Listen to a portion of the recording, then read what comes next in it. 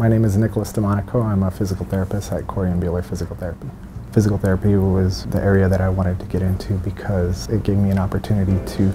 really be with a patient and spend time with them in, in the clinic and, and uh, get to know them and what, what it is that they like to do every day. I think the most important thing about patient care is really connecting with people on a personal level and